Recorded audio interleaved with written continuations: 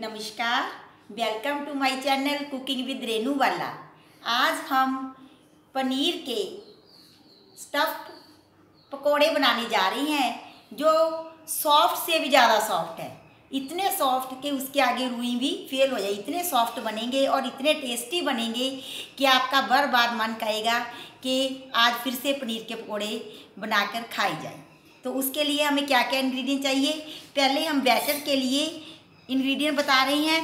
ये है एक कप मैदा लाल मिर्च हल्दी पाउडर नमक कसूरी मेथी आ, कसूरी मेथी और गरम मसाला। और जो आ, बेकिंग पाउडर और पानी ये सभी इंग्रेडिएंट्स हैं बैटर बनाने के लिए। उसके पश्चात हम जिस हरी चटनी की स्टफिंग करेंगे उसके लिए हमें क्या क्या चाहिए?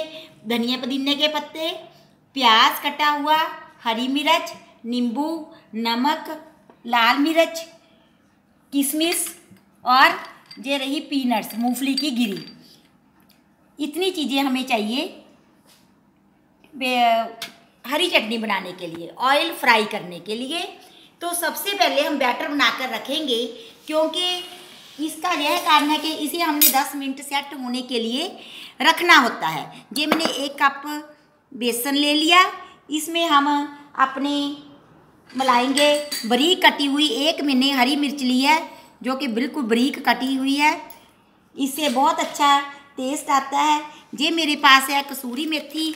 अब आज, आजकल गर्मी का सीज़न है, हरा धनिया थोड़ा कम मिल रहा है मार्केट में। अगर हरा धनिया हो तो उससे भी बहुत अच्छा टेस्ट आता है। आप उसके भी चॉप किए हुए पत्ते मिला सकते हैं। एक टीस्पून में मिला रही हूँ कसूरी मेथी। इससे बहुत अच्छा टेस्ट पनीर पकौड़े में आता है। तो और हम क्या करेंगे? अब अपने बेटर के हिसाब से मिलाएँगे इसमें नमक। आधा टीस्पून हम मिलाएँगे नमक, क्योंकि बीच में जो हरी चटनी रहेगी उसमें भी नमक रहेगा। अदरवाइज़ बहुत ज़्यादा हो जाएगा। आप अपने टेस्ट के मुताबिक थोड़ा बहुत हेर फेर भी कर सकते हैं।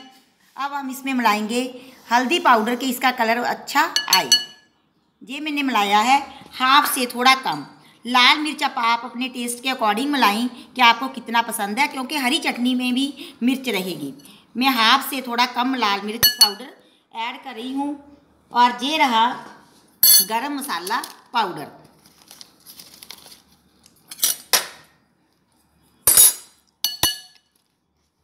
ये हम लाएँगे हाफ़ टी स्पून गरम मसाला पाउडर और अब हम इसका बैटर बनाकर और ये रहा बेकिंग पाउडर। ये हमारे जो ऊपर रहेगी ब्रेड पकौड़े के ऊपर स्टफिंग रहेगी कवरिंग रहेगी बेसन की, उसको एक तो फुला देगा और एक क्या उसे सॉफ्ट भी कर देगा।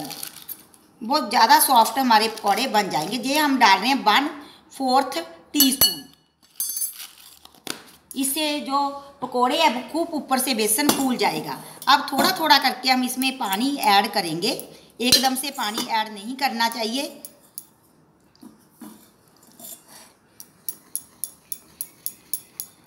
और इसे खूब फेंटेंगे।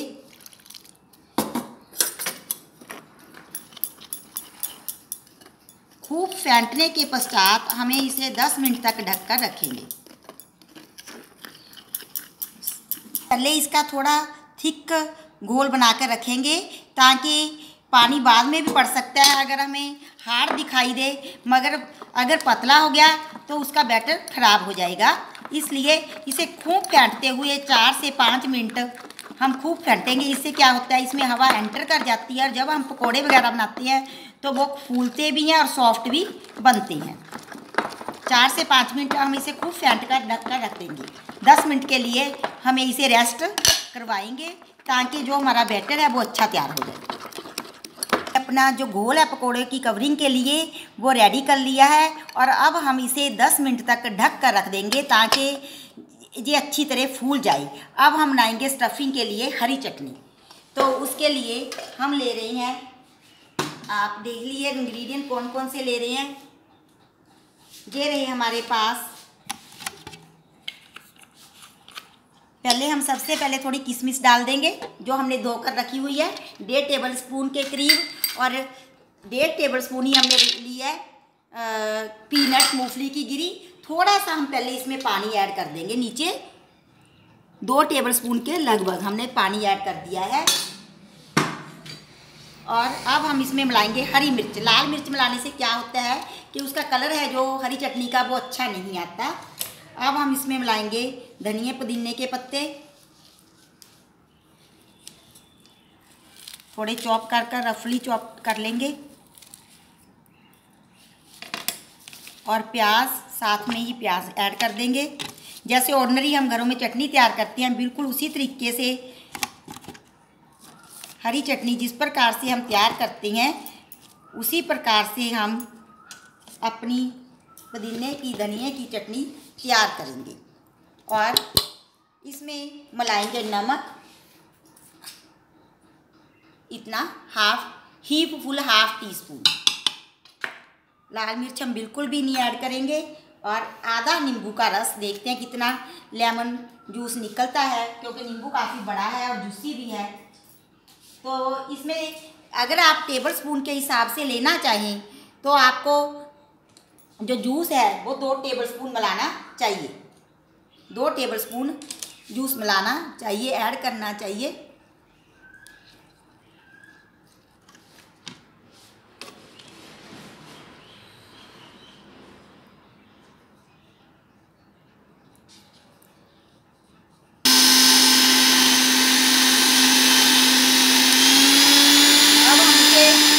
को ब्लेंड कर लेंगे हमने मिक्स किया लाइन किया है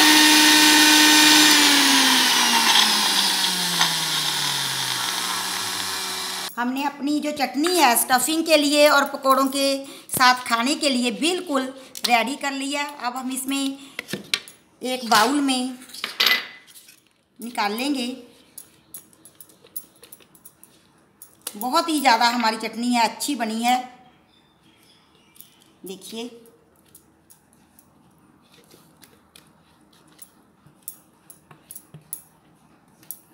कुछ तो हम स्टफिंग करेंगे और कुछ हम इसे पकौड़ों के साथ सर्व करेंगे। वो सर्विंग डिश में निकाल लेंगे जो हमने पकौड़ों के साथ सर्व करनी है।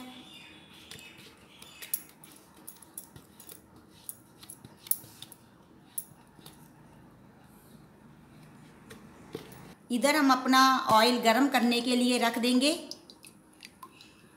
जो कि ताकि अच्छी तरह हमारा ऑयल गर्म हो जाए और उधर हम अपने पकोड़े रेडी करेंगे। ये हमारे पास 200 ग्राम पनीर है। जितने भी छोटे बड़े साइज़ के आपको पकोड़े पसंद है, उसी हिसाब से आप अपने पीसीज पनीर के कर लें।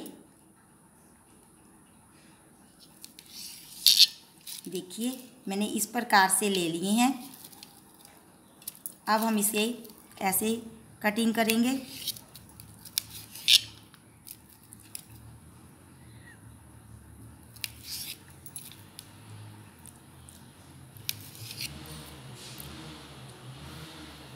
देखिए, अब जो हमने पनीर का पीस लेना है, उसे अंदर तक बीच में से काटते हुए बिल्कुल कट नहीं करना। नीचे से जो जुड़ा रहना चाहिए। जैसे, ऐसे कर लेना, नीचे से जुड़ा हुआ है। ऐसे, इस प्रकार से हमने पीसीज अपने रेडी कर लेने हैं। देखिए, नीचे से हमारा जो ब्रेड सॉरी पनीर का पीस है, वो टैच है एक दूसरे से। देखिए, इस प्रकार से हम सभी पीसीज को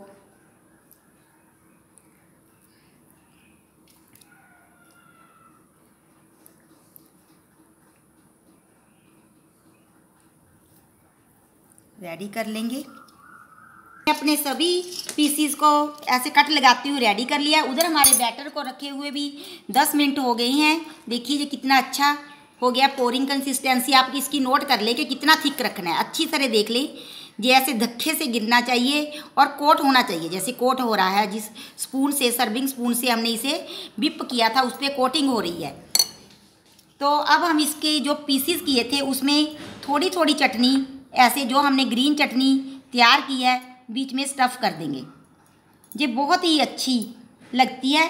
चटनी हमने थोड़ी थिक्की बनानी है, पतली नहीं बनानी, नहीं ये बाहर आ जाएगी।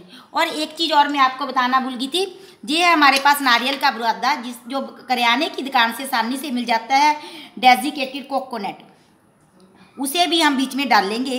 इससे बहुत अच्छा फ्लेवर आता है। अगर आपको नहीं पसंद है तो आप ना डालें। मतलब बनते बहुत टेस्टी हैं। एक डिस्टिंक्ट अलग प्रकार का टेस्ट आता है। अब इसे हम कोट करेंगे। अच्छी तरह से डिप करते हुए कोटिंग करेंगे। पहले मैं सारी चटनी इसमें फिल कर लूँ, ताकि हमें उधर ऑयल भी गर्म हो जाए और रुकना ना पड़े।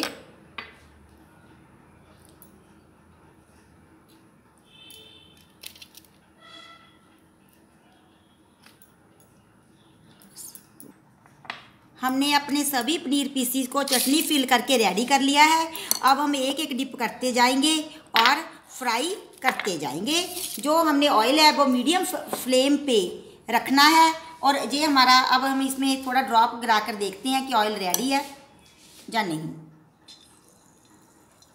ऑयल हमारा तैयार है। और हमने फ्लेम को मीडियम रखना है।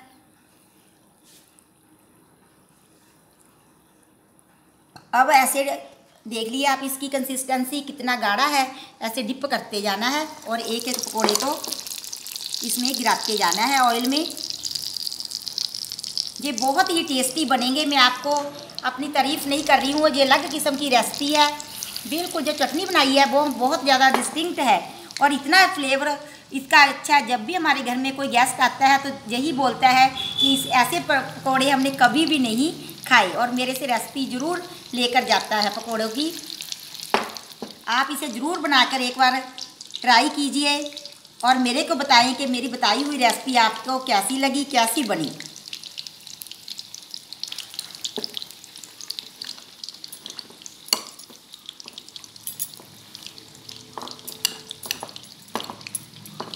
अब हम एक साइड से सेक लेंगे, फिर दूसरी साइड से सेकेंगे। पनीर पकोड़े दोनों तरफ़ से सीख कर रेडी हो गए हैं। अब हम इसे प्लेट आउट करेंगे। बहुत अच्छे बने हैं, सॉफ्ट बहुत ज़्यादा बने हैं, मैं आपको फिर दिखाऊँगी। पहले हम सारे पकोड़े अपने निकाल लें।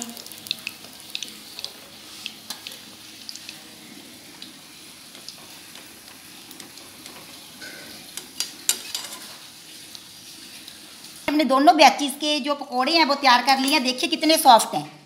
देखो, बिल्कुल रुई जैसे सॉफ्ट बने हैं। अब मैं इसे आपको काट कर दिखाती हूँ बीच में से। कितनी आसानी से ये पकौड़े हमारे कट हो रहे हैं। देखिए, अब अब हम इसे सर्व करेंगे।